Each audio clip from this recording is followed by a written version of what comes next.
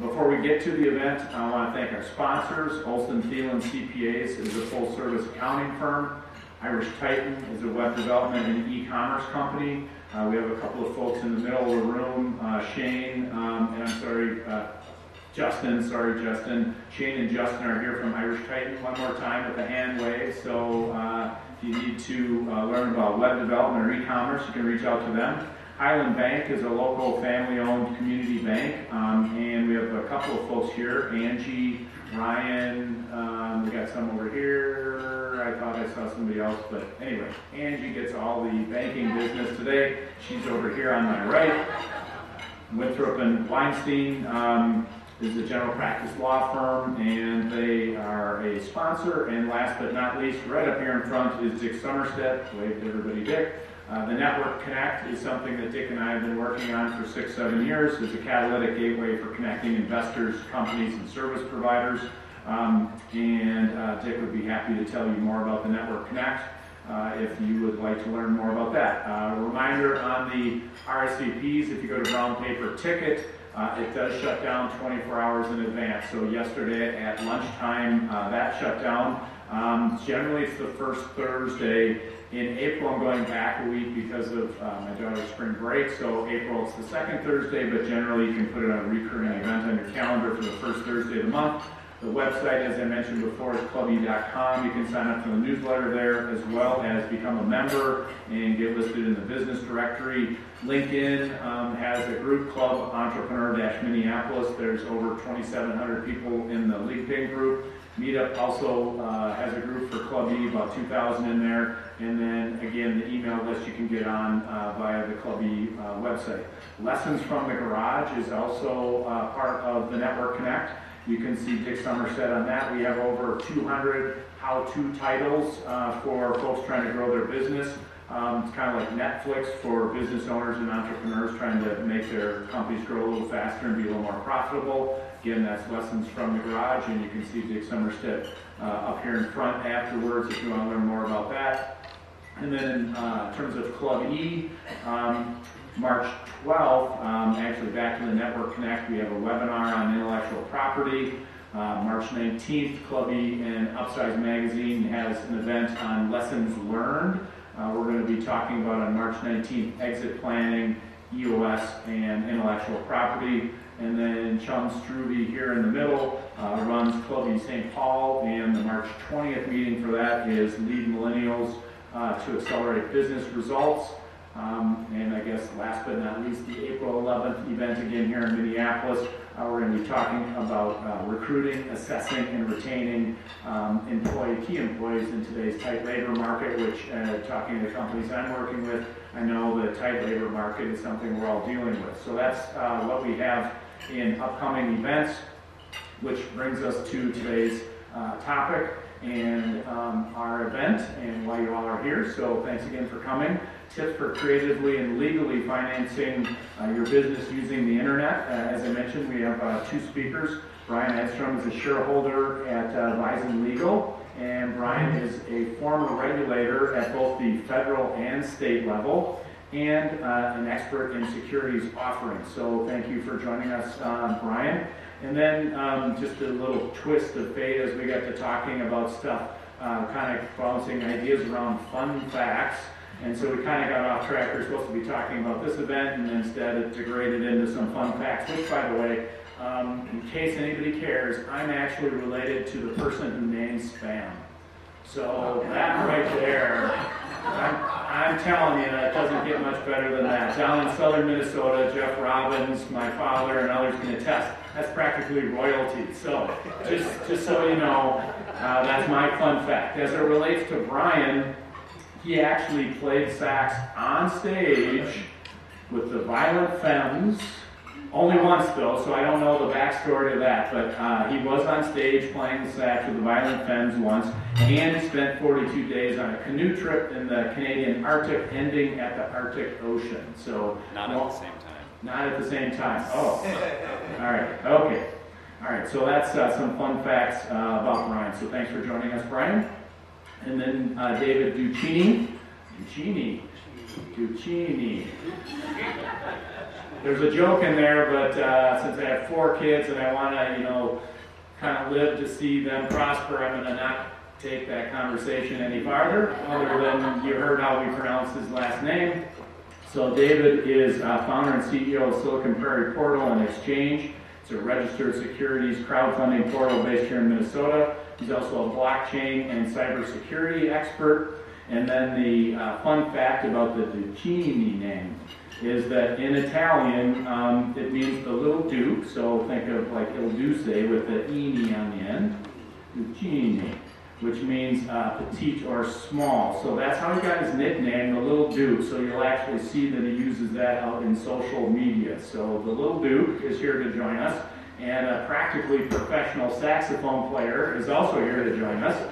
And uh, with that, I'll turn it over to these guys. Again, a reminder that uh, we can stay after the 1 o'clock uh, stop uh, they're happy to, to stay and talk. Um, this is supposed to be interactive, so uh, please raise your hands if uh, you'd like to learn more. Gentlemen.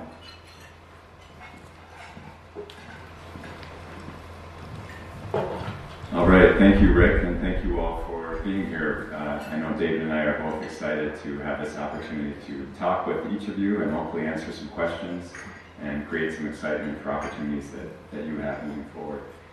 Um, so, as Rick said, uh, I'm Brian Edstrom. I'm an attorney at Avisen Legal PA, which is a boutique business transactional firm here in Minneapolis. Um, we started about 18 months ago or so, and uh, we're now up to nine attorneys, and we pride ourselves on having really high level uh, expertise in a smaller firm environment. So, of the nine attorneys, um, we all come from either a big law firm environment, an in-house environment, or in my case, a regulatory environment. Two of my partners are here, Lisa Holter in back, and Jeff Robbins in front, right up here. So if you have any questions about advising, please uh, let either of them or me know. And then as far as my personal background is, as Rick mentioned, so uh, I've been in private practice for almost two years. Before that, I spent seven years working in federal and state government. So I, after law school, I moved to Washington, D.C. and worked with the DOJ for four years, the Department of Justice. I worked in their civil rights division and then their civil division and was working on uh, some big residential mortgage-backed securities civil fraud investigations, which was uh, very interesting, although tedious process. Um, after that, I moved back to Minnesota and uh, worked for the Minnesota Department of Commerce, where I was the director of securities. And in that role, um, I oversaw staff at the Commerce Department that regulated businesses issuing securities, offering securities, as well as uh, investment advisors and brokers and folks involved in, in recommending and selling securities products.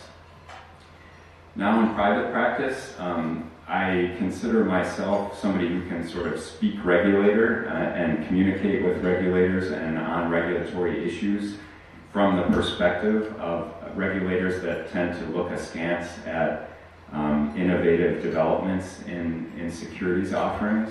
And I think that can be an asset for people that are trying to be creative in, um, in uh, engaging in things like crowdfunding and uh, blockchain technology and things like that I'm having trouble with. Turn it on. Side. The on switch, always a good place to start. Okay, did you, uh, did you try rebooting it? Sorry? Did you try rebooting it? yes, I rebooted it. David is the tech expert. I'm the former regulator. That's the way we roll. Um, this presentation is intended just to provide information. Um, I'm not providing legal advice. If you'd like to have legal advice on any of these topics, of course, you can talk to me. Um, so the purpose, I, well, before I start, David, please. Oh, sure, yeah, no problem, thanks. So I'm David Duccini, founder and CEO of Silicon Prairie Portal Exchange. I'm pretty excited about uh, what we're doing here in the Silicon Prairie. Uh, so much of our talent gets leaked out to the coasts.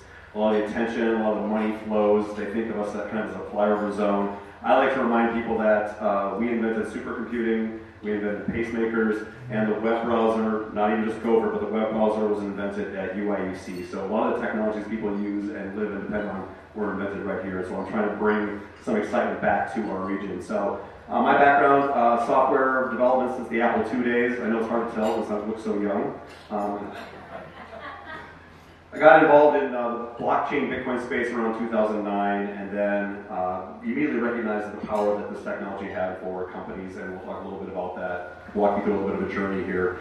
Uh, the very first time I met Brian was when we were going to get our portal app- application approved, and my reputation sort of precedes me. I'm kind of not known as being shy or reserved. I'm kind of an agent provocateur. So the first time I meet Brian and I sit down and he's just shaking his head, I'm like, "Hi, how's it going?" He's like, "We don't know what to do with you." Like, what do you mean? I'm just here to get a portal. Well, that's easy. We want to talk about the blockchain stuff. So uh, I said, well, let's let's do this portal thing, and I'll tell you all about the blockchain stuff. And then delighted to have him on my side of the table for once, uh, so he can help translate and calm down the people that you know, commerce, etc. It's all going to be okay. I'm not an, you know, an evil genius, at least that you know of anyway. All right, so let's get into this then. All right, so before I jump in, I just to get a kind of feel for who's here, who feels like they're pretty familiar with crowdfunding as a concept already? All right, and how about initial coin offerings or ICOs? All right, uh, fewer on the, the latter option. So, um, the purpose of this presentation is really to talk about how those two options are at least intended to provide alternatives for business that are looking to raise money. Um, historically, it can, it can sometimes be challenging for new businesses to uh, raise money and they feel like they're stuck bootstrapping the business or trying to approach venture capitalists and angel investors that might feel inaccessible at times. So um, there have recently been developments in securities regulations and in the market to try to create opportunities for people to use the internet in new ways to raise money. Um, these are two of those options. And as I think will become kind of evident over time, there are pros and cons to these options. And um, I have personally some mixed feelings about both of them, but nevertheless, they're worthy of discussion and consideration if you're looking to raise money. So questions we hope to answer are uh, generally just a quick overview on what securities regulations are and what is a securities offering, and um, how do you use crowdfunding and ICOs to lawfully engage in a securities offering to raise money.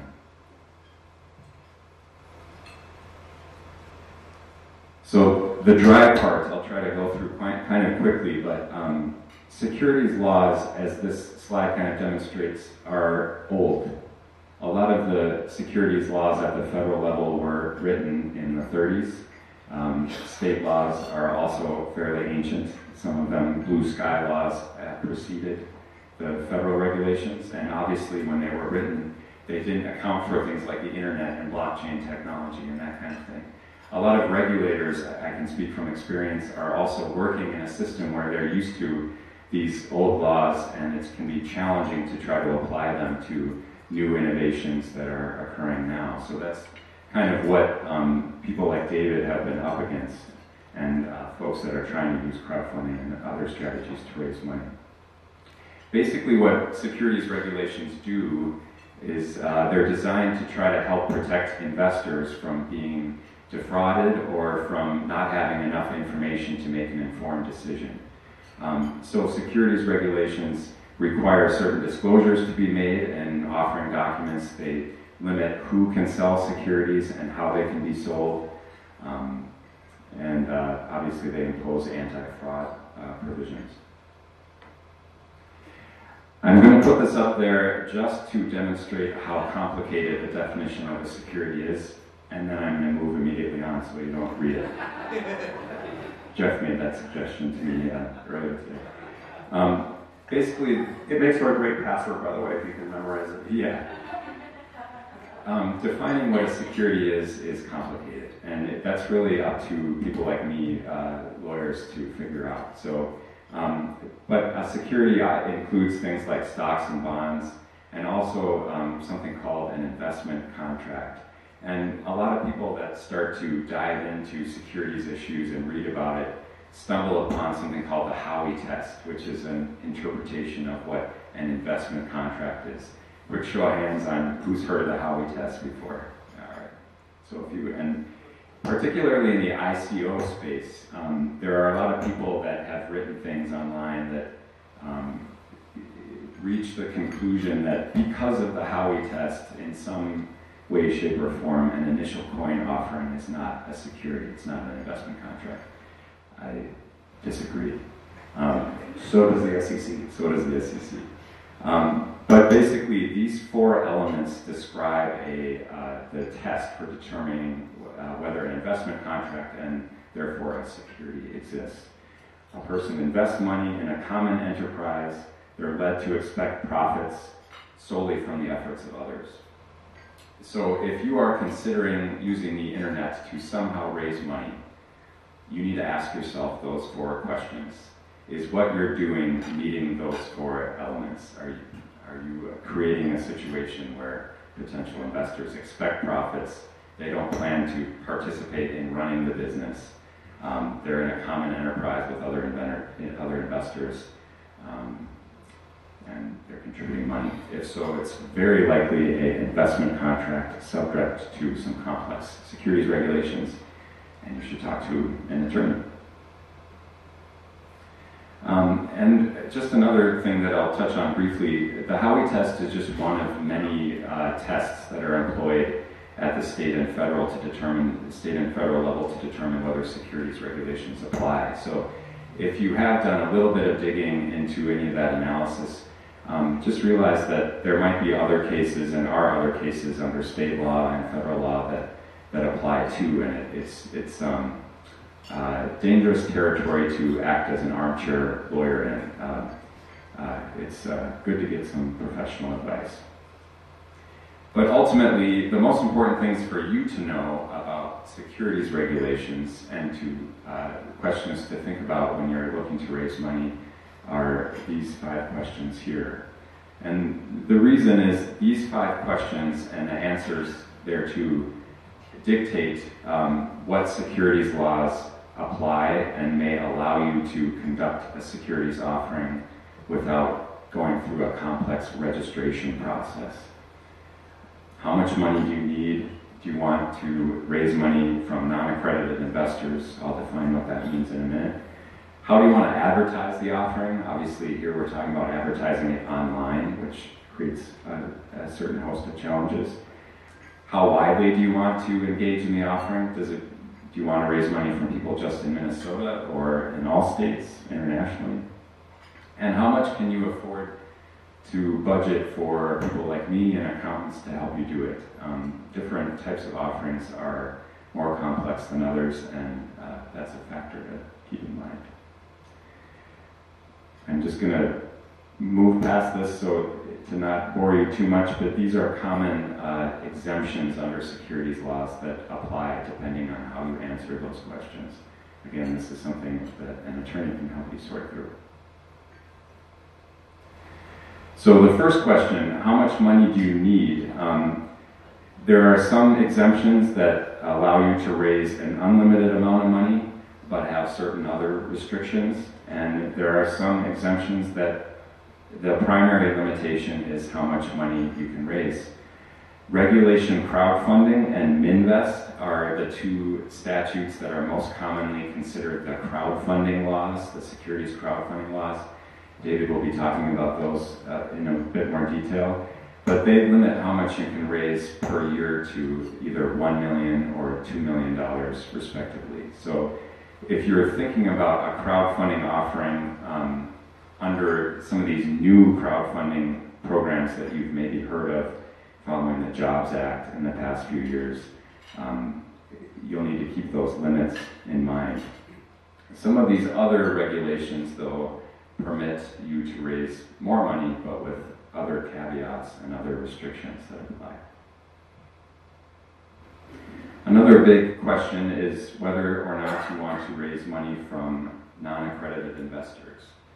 Uh, the best way to understand who is non-accredited is to understand who is accredited. Um, an accredited investor is somebody who has uh, high enough net worth or uh, uh income to meet certain thresholds to be deemed uh, wealthy enough to imply that they have a level of sophistication and an ability to withstand financial loss to not require greater protection under the securities regulations. So a lot of securities regulations restrict sales to non-accredited investors.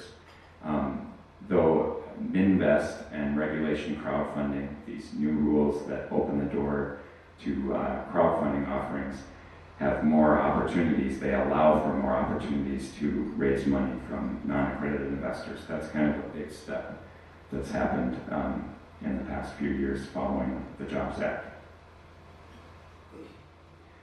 Um, advertising is another big question that you'll need to ask. In the past, a lot of securities, and, and currently, a lot of securities uh, sales occur privately via private offerings, private placement memorandums.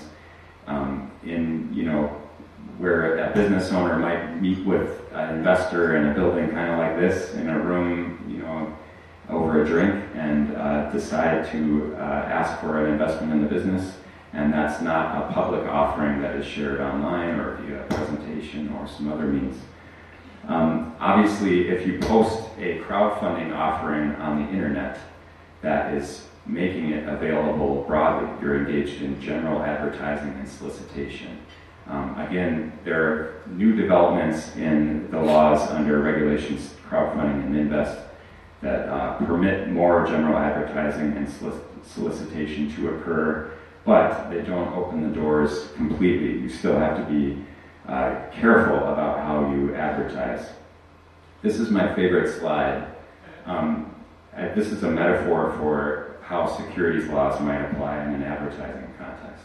So if you can't see that, that is a picture of uh, um, a uh, sea salt container, and on the picture, on the sea salt container, it says, um, formed by the primal sea more than 250 million years ago but it expires in 2019. So an advertisement violation in the securities context would be to celebrate your product as your or your business for its you know it was formed by the the seed millions of years ago, but not to disclose that it expires next year. Makes sense? So um, in securities offerings, really disclosure is the name of the game. If you're advertising a securities offering, it's important uh, that you also that you also disclose the applicable risks and uh, uh, potential uh, ways in which somebody could lose money by investing in that offering. Again, a lawyer can help you craft the documents that um, are designed to do that.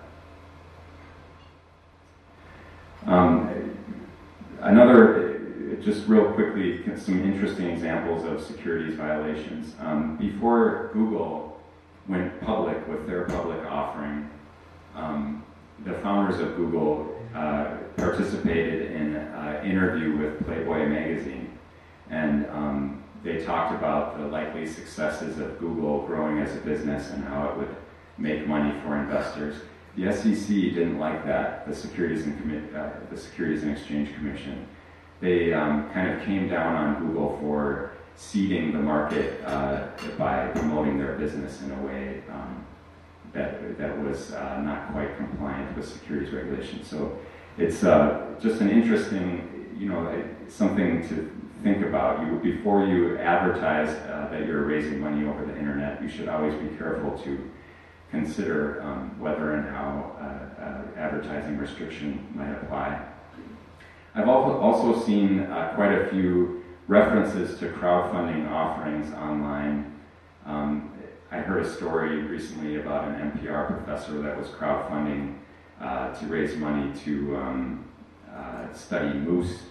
Uh, I've seen other crowdfunding offerings advertised to uh, raise money for local restaurants and breweries and things like that. There are limits on uh, how you can do that and, and what you can say, so it's important to keep that in mind. But um, in this particular case, this was not a securities offering, raising money just to study uh, moose. Uh, basically, she was asking for contributions or donations, not uh, purchase a security or equity somehow in a business that was engaged in doing that. So um, that would be permitted in that context. Um, where do you want to raise money? Uh, basically, in a nutshell, you just have to keep in mind that if you're raising money using the internet and posting something that can be seen publicly by anybody, you need to worry about securities regulations at the federal level and in every state where somebody could see that offering. Um, securities regulations apply to the offer, not just the sale. So um, uh, uh, it's important to keep in mind that there are a whole network of regulations that might apply. And finally, uh, uh, when you talk to an attorney about your different options, they'll be able to explain to you the different requirements that are applicable. Um, but again, it's just you, something to keep in mind is you'll likely need to work with an attorney and, a, and an accountant to put together something that's professional and that uh, both gets the job done to attract investors, but also complies with applicable regulations. So I'm not going to get deep into this, but um, if you were to visit with an attorney, they might uh, explain different examples to you, kind of like this, and these are different regulations that apply, uh, kind of compared to those five questions that I posited at the beginning of that portion. So, David, do you want to chime in on? Yes, thank you so much. So that's the stuff that makes it all legal. Now we're going to talk about how it actually works in real life. Can I grab the uh, clicker for you, please? Yes. Okay, so how many people have heard of Kickstarter? Yeah, that's good. Okay, that makes it so much easier. So just a couple years ago, so we're uh, Silicon Prairie Portal Exchange. We're now in our third year of business. So literally three years ago, I would start with that question, and I would sometimes get blank stares, like people had not heard of Kickstarter. Um, and so then I would go on, have you heard of GoFundMe, right? GoFundMe, right? Social begging, right? Okay, that's good. If you had not heard of Kickstarter or GoFundMe, I literally had no basis to tell you what crowdfunding was. So I'm delighted to see that more people have heard of uh, heard Kickstarter. So crowdfunding is basically, in a nutshell, what we like to say is if you don't have an angel investor to give you a check for $100,000, you can put together a crowd of friends, 100 people, each giving you $1,000 to get you that $100,000. And that is, in a nutshell, uh, crowdfunding. So several types of it. We, there are rewards-based, the, the Kickstarters of the world, the social begging like the, the GoFundMe's. The laws don't apply because you're not buying a piece of the business. You're buying an early product. You're buying participation. Uh, uh, whether it's you know you're, you're feeling good about your investment or not your investment, you're feeling good about your donation, or you're hoping to get something. So, quick show of hands: how many people invested in Kickstarter and did not get their thing? Am I the only one? Wow. Maybe it's just me. I stopped investing in Kick- Kickstarter because I got tired of not getting my stuff. So, which might be a version of fraud. So, if you do promise to deliver something you don't deliver, that may be fraud. So, securities crowdfunding is is different in that you are selling the upside of your business, and this is an important part. So, we see tons of entrepreneurs who come in who think they want to raise money from the public, and that's great. They should. Um, and assuming they have a business plan, that's also awesome. But they tend to focus on their amazing product and not the amazing upside and potential of their business. And that's a big differentiator between raising money from people and just trying to sell your product. And if you can sell your product, we absolutely tell you that revenue is your best source of capital. But if you don't, you know, if you're not quite there yet, uh, securities crowdfunding might be the right, uh, might, uh, uh, the right option for you. So rewards based, we touched on that Kickstarter, Indiegogo. Some of the most successful uh, crowdfunding campaign stories, Oculus Rift, these are the VR goggle people. They held a successful Kickstarter campaign. $2.5 million was raised from, I think, about 9,000 backers. So those 9,000 people right now have an obsolete brick sitting on their shelf, right? They got the first generation of that Oculus Rift. Instead of the people who came in just after them and got $2 billion when they sold it to Facebook, those people got 20x on their money. Right? So those first early backers, instead of having the right to pay off a student loan or put a down payment on a house or buy a car, right, now have an obsolete, they've got bragging rights for an obsolete brick on their shelf. And we don't think that's very equitable. Locally, AstroPad raised a ton of money, a good amount of that money went just to build the product. Um, and then the potato salad guy, we like to use this example. Um, this is the exception, right? This is the person that wanted to raise money on Kickstarter for a potato salad recipe. That was actually posted on Kickstarter, and people just it went viral, and they raised about five hundred, you know, fifty-five thousand dollars.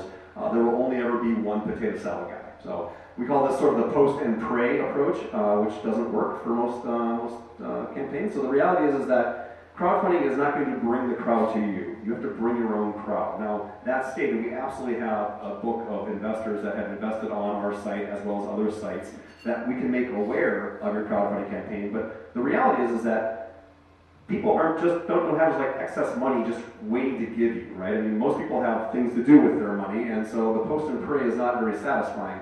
Uh, most of your Kickstarter campaigns uh, raise less than ten thousand dollars. Uh, Okay, that's not a very good target if you're trying to raise money for your business because ten thousand dollars will get eaten up between people like Brian and myself just to get you to the dance. Um, over 63% of the Kickstarter projects fail to reach their minimum target. There is nothing sadder than looking at a, at a Kickstarter campaign that where the backer themselves hasn't even put in like five dollars or ten dollars, like that zero dollar Kickstarter, right? It should take a lesson from uh, musicians, right? So if you're like, you know, you're walking as a musician in an open guitar case, right? The ones that actually put money in there first, they call it salting it, right? Will do better. The the inertia to be the first person to give someone money is really high. So, and we've seen that also that also holds true in investment crowdfunding. So, again, it's just like Kickstarter, but you're selling a piece of the business. There are obviously several exemptions to do that. We can help you find and navigate that space uh, to do that, and then working with a, with a, uh, with a securities attorney. So, Silicon Prairie Portal Exchange, we are uh, state-based and national portal. So we launched in Minnesota in 2016. We did actually raise money for ourselves. Uh, we were the very first campaign. We wanted to eat our own dog food, to go through the process, to pay an attorney a lot of money to produce this artisanal, handcrafted, bespoke private placement memorandum at a Princeton sum of about $15,000. Uh, and then we then started opening up in Wisconsin, Iowa, Michigan, and then part of our use of funds was to go national, so we can do these national crowdfunding campaigns. And along the way, we built some document automations that get that PPM price down uh, from uh, the exorbitant price of 15K, which should have come artisanally handcrafted in hand-tooled leather for that price, uh, but did not. In fact, I think I had to print my own copy of it. Don't Don't be like me. Um, I feel like I'm a poster child for private placement memorandums. Um, so this is a, a, quick example. This was a screenshot from just this very morning. Uh, so crowdfunding's been working pretty well for breweries. Cultureworks has had some challenges. Uh, they did not get approval from Roseville to open up their location there, so they're going to reboot their campaign probably this year once they pick a new location. But breweries, they have a natural crowd built in. It's a natural, easy product. You invest some money, you get some free beer, you own a slice of a, you know, potentially a successful brewery. Um, and then we raise some money. We've had other campaigns that are not listed here that were not effective. Uh, but then real estate recently is starting to get really hot because it's really easy for people to understand what they're investing in. So with securities crowdfunding, you can sell equity, you can sell debt, you could sell revenue share, you could sell a convertible note. It's really up to you what you want to sell. So people are worried about potentially poisoning their cap table from having thousands of investors, right? You could just do a debt offering, so you don't have anybody on your cap table, right? It's totally up to you what you want to sell. So the, the steps for us are the, pretty much the same steps with just about any portal. You're going to decide that crowdfunding is right for you, and that is actually an important step. If you've got a team of people, all of you have to agree that you, this is the way you want to go. You can't have just one champion. If the whole company and the whole team is not on board, it's not going to it's not going to succeed. So you decide it's right for you. You get your documents together, and then you you know put your your, your PPM together. You get your exemption in place. Uh, it gets published funds flow, you feel the love. Um, here's what it kind of looks like uh, at the highest level. This is the big picture, and we'll make this available to you if you want to get a copy of this. But here's you, you want to raise some money, uh, you sign an agreement with us, uh, we pair you up with a securities attorney, we have some document automation stuff that happens, they get prepared, they get filed, there's a QC check. At this point, you're now made effective, you can start advertising, your investors can start buying, you reach your goal, the money gets released from the bank, and ta-da, you now have the money, and then your investors get their shares, right? Pretty straightforward. That looks so good. Thanks, Jade. Well, there's Jade right there. Jade is uh, amazing at, uh, shout out for Lucidchart. If you don't know Lucidchart, you should get Lucidchart. So the success stories, the most recent one, so again, real estate, we've had uh, crowdfunding, uh, 201 crowdfund, uh, buying building in downtown St. Paul, mixed use. Lexington investors, $1.4 million raised for a multifamily uh, building in Lexington, Kentucky, even though it's a Minnesota-based business. These both use the older exemption score, and then we raise money for ourselves uh, on our portal uh, doing a um, MNvest raise. So it, it, does it does work. It does require uh, a little bit of work. We have about a 40-page uh, workbook that helps you go through the best practices, but it is as much a marketing effort as it is a financing effort. You're going to be have to you know socialize the outside of your business and get out and talk to people and ask and get used to hearing no. So just like with uh, rewards-based crowdfunding, you know, about 40% of the securities crowdfunding offerings don't hit their minimum target. So that's not very satisfying if you're spending a lot of money with a lawyer and with a portal, and then you don't go anywhere. So this is one of the things that we're you know, laser focused on is trying to get the friction and cost out of that to make it even worth trying. And so we've got some stuff in the background, that you talk about privately, that we're trying to get to a point where we can make that even cheaper to, to even try to, to raise. But you do have options, right? You have friends, family, you can go to a bank, uh, maybe get an SBA loan, but you know, 40% uh, don't hit that target. That's, you know, we'd like to see 80% or 90% of people get funded. Um, that really just goes to the quality of the offerings. And then it's still early days, we don't know. There haven't really been any high successful exits. Not here in the US. There is, I think it's Brewdog in England has now expanded here. They've taken on tens of thousands of investors. I think they just got bought out by a private equity group. And so it's still really early days yet um, because people, you know, they're making investments in you and then in your product, and then if the crowd is into it, you might get more money for it, but you know, you have to have an exit strategy. I mean, most angel investors are used to being married to their investments for seven eight years. We're hoping that with the secondaries market, we can shorten that cycle. And we'll talk a little bit about that. So, show of hands, how many people have heard of Bitcoin? That's awesome. How many people have heard the word blockchain? Oh, same. That's good. That's great. Um, so Bitcoin is now 10 years old. This is important because almost every new technology takes about 20 years to hit mainstream adoption. Think about microwave ovens, cell phones. Right? More people have heard of Bitcoin and blockchain than they've heard of investment crowdfunding, and that makes sense since it only got launched around 2012 and didn't get going until 2016. So we're really in the early days of crowdfunding. So at the highest level, I'm going to do just a baby walkthrough of blockchain. We do actually a full um, meetup every month on the first Tuesday at our space. Grab a card, and we'll blow your mind within seven minutes on, uh, on the blockchain space uh, every month. Otherwise, you come see us every Friday morning. So the reason this is important is because I'm going to walk you through, we've talked through the security side, we've talked about the crowdfunding side, I'm going to give you a baby walkthrough of blockchain to get you to the ICO space. So a blockchain is literally nothing more than an Excel spreadsheet that's shared peer-to-peer. Right? It's a distributed ledger. It's an Excel spreadsheet. Not literally an Excel spreadsheet, but it's like an Excel spreadsheet shared peer-to-peer. And so every so often, you get a full page of transactions that gets signed off, and that part of that signature goes into the next page of transactions so that you can't go back in time and change that previous transaction. Now, what makes it magical is this consensus happens peer to peer automatically in the background. So, just like if you had three of you in your office and you took an Excel spreadsheet home over the weekend and you're working on it, and you come back in on Monday morning, what does it take to get consensus? It takes two out of three of you to agree, right? This is true. And that's essentially what's going on with the blockchain in the background. You're getting consensus automatically. So the word blockchain is just synonymous with a distributed ledger. Uh, it's really good for anything where you need an audit trail. It's not great for everything. It's been described as the world's slowest database. Uh, but it is the underlying technology under Bitcoin, and why this is important is that we think that this technology could be used by every company to keep track of their shareholders. So every company could have its own version of Bitcoin to keep track of its shareholders so that you could do voting and then ultimately liquidity. That's what we're after. So at the highest level, blocks of transactions are chained to another block of transactions such that you cannot go back in time and change it. It's tamper-proof, uh, which is really interesting. Uh, entries are probational until they get confirmed, so that it deals with, you know, can take care of there's no fraud. Uh, the bigger the network, the stronger the network. So cryptocurrency, Bitcoin, is really just the first proof of work, or proof example, I should say, um, that demonstrates what a blockchain can do. Uh, we won't bore you too much with the mining process, but instead of coupons or gift cards, people that participated in Bitcoin early on got more Bitcoin for that. Uh, and that, as we can see, that uh, the worth of a thing is the price it'll bring. Why does it have value? Because people perceive it has value, right?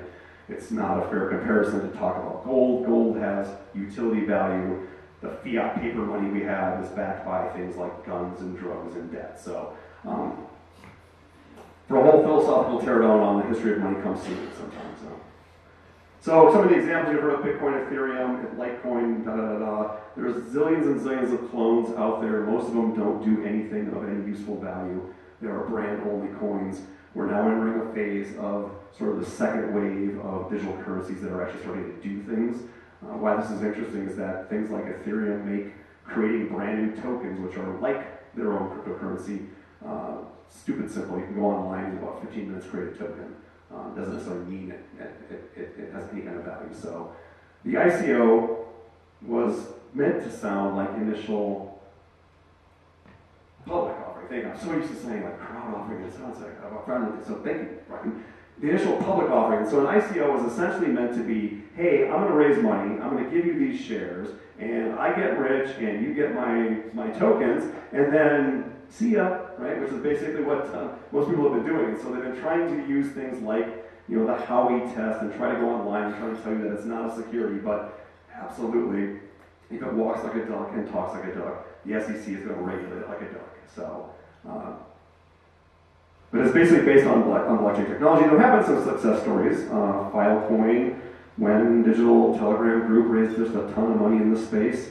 Uh, Kodak Coin, I think, is that actually even, did they, was that, I, trying remember if that was actually a real thing or not. I thought that at the end of the day, it just ended up being like a way for them to try and pump their stock. I don't know. Yeah, I don't, I guess I don't know the outcome of that, but the uh, interesting thing about these three examples is, um, although they're kind of dubbed an ICO, an initial coin offering, I think all three of these were conducted within the structure of securities regulations. A lot of ICOs are not, and if you, or maybe I Yeah, sure, yeah.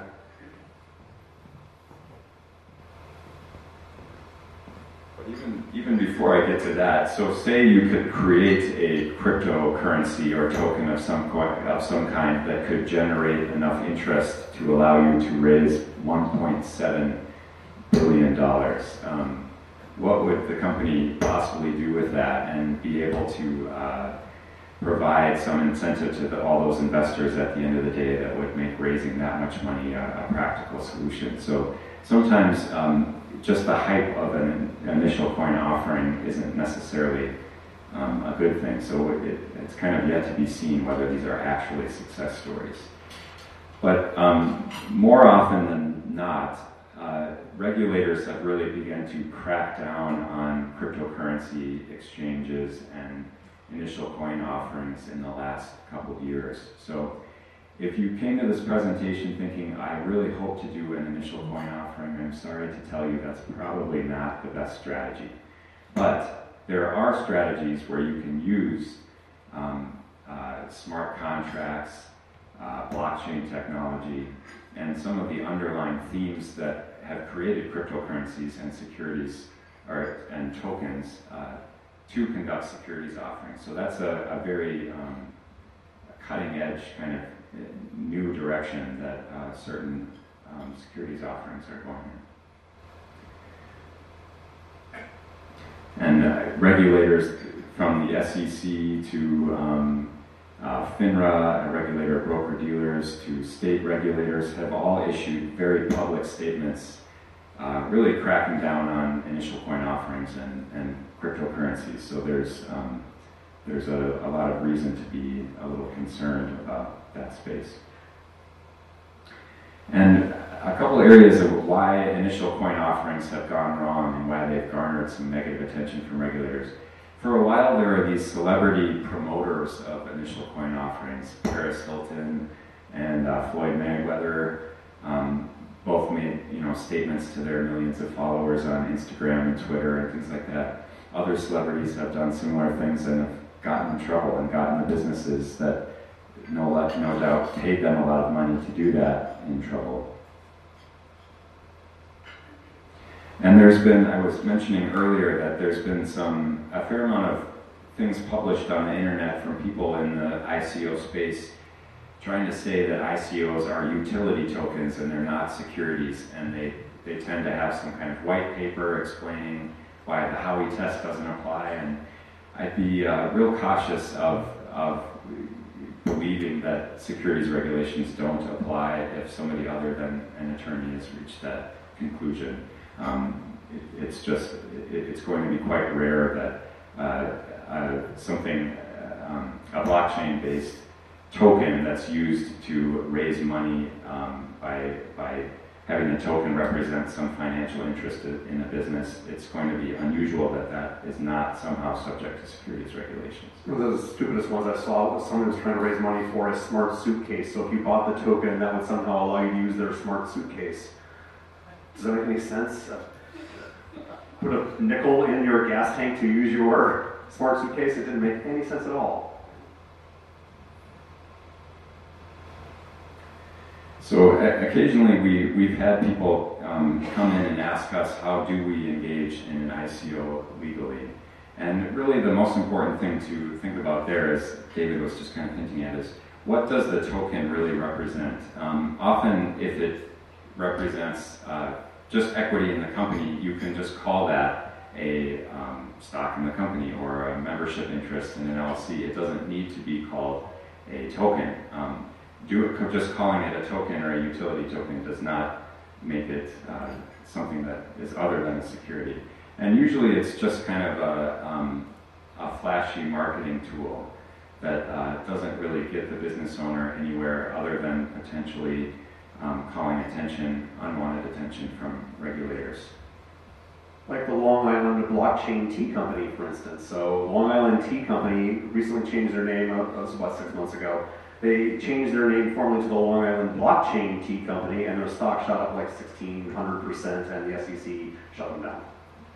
They didn't do anything blockchain other than just doing blockchain. It's a little bit like the dot com days. I'll take the thing back here. So, the good news is, is that we think um, we found a path to do this legally compliant. We now call an ICO an initial crowd offering. So, you, using these exemptions, you can pair up a securities raise, a legitimate legal investment, to do some crowdfunding, pair it up with a stock transfer agent, and then some blockchain work to create that sweet intersection between here is my security and here's my blockchain. And I have an example here. This is the future we think of what a stock certificate will look like. It has a QR code on the front. That's the public key and a private key on the back of it. So someone could have a paper stock certificate, take their phone, scan it, and see if it still had value or not.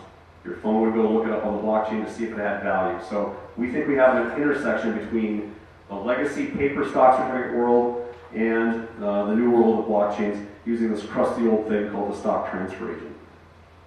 So, is crowdfunding an ICO right for you? Do you have a well thought through business plan, right? Fundamentally, people are investing in your business, the upside of your business. Do you have a marketable story? Again, you're going to have to bring your own crowd in the early days, right? Your friends, your family, your friends of friends. Um, do you have a compelling idea for using blockchain technology? There's lots of really good use cases for this technology. Anytime you need an audit trail, right? Everything you could see blockchains being used as flight recorders in your car, for instance, right? There's tons of tons of applications for this technology.